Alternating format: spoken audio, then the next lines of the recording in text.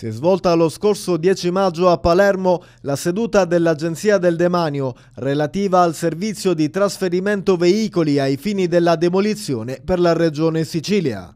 Ad aggiudicarsi la gara d'appalto per la provincia di Messina è stata l'autodemolizione del geometra Benedetto Belvedere di Capodorlando.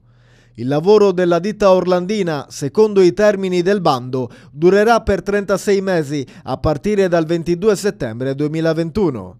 L'azienda si occuperà dunque per un minimo di tre anni delle attività di prelievo, trasporto, messa in sicurezza, demolizione e radiazione dal pubblico registro automobilistico dei veicoli che pervengono all'Agenzia del Demanio e delle vetture confiscate a seguito di violazioni del nuovo codice della strada su tutto il territorio messinese.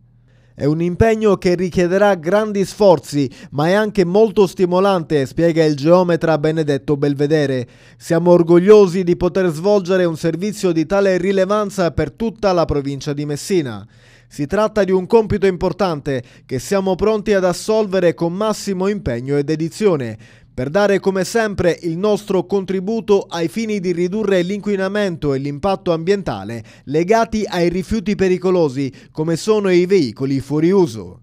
Una nuova e affascinante sfida per l'impresa paladina, da oltre 40 anni consolidata realtà nel campo delle demolizioni e dello smaltimento dei rifiuti e che grazie a competenza e professionalità è ormai un punto di riferimento nel settore per tutta la Sicilia.